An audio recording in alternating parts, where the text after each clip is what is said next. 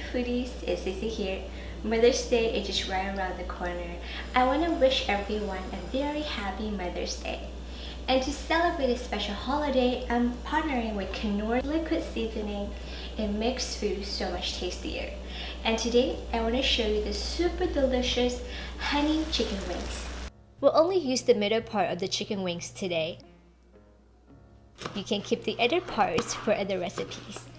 And let's season both sides of the wings with salt and pepper.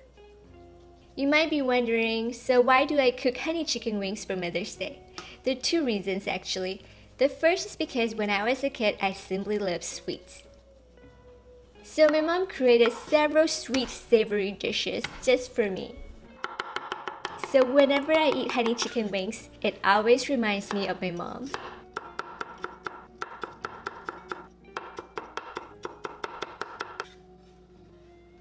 To make the sauce in a bowl, add in the Knorr liquid seasoning.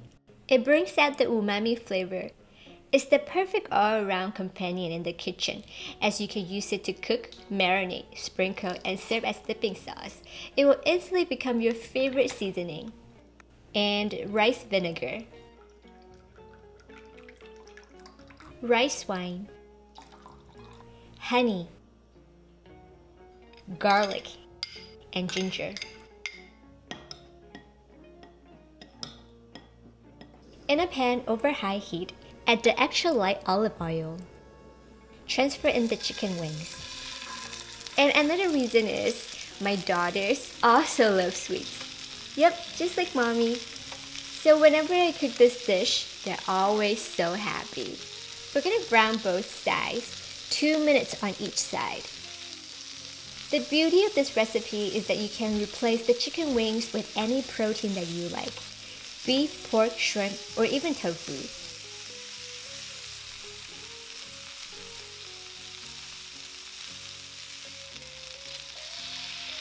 Now we're going to pour in the sauce.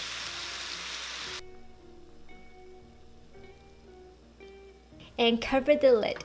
And then turn to medium-low heat. And we're going to let it cook for 15 minutes. And you can flip the wings every 5 minutes. So I hope that this dish also brings you joy and happiness this Mother's Day.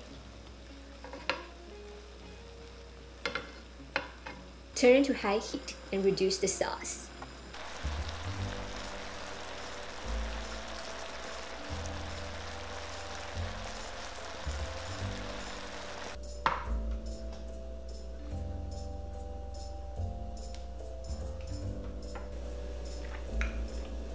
Mmm, wow. Mmm. It is absolutely amazing and delicious. It's so easy, but it's packed with flavors. So delicious. I love the taste of the honey, the garlic, and ginger. And at the same time, this Knorr liquid seasoning really brings out the umami taste of the chicken. So I hope that everyone also enjoyed today's episode. If you like it, remember to subscribe, thumbs up,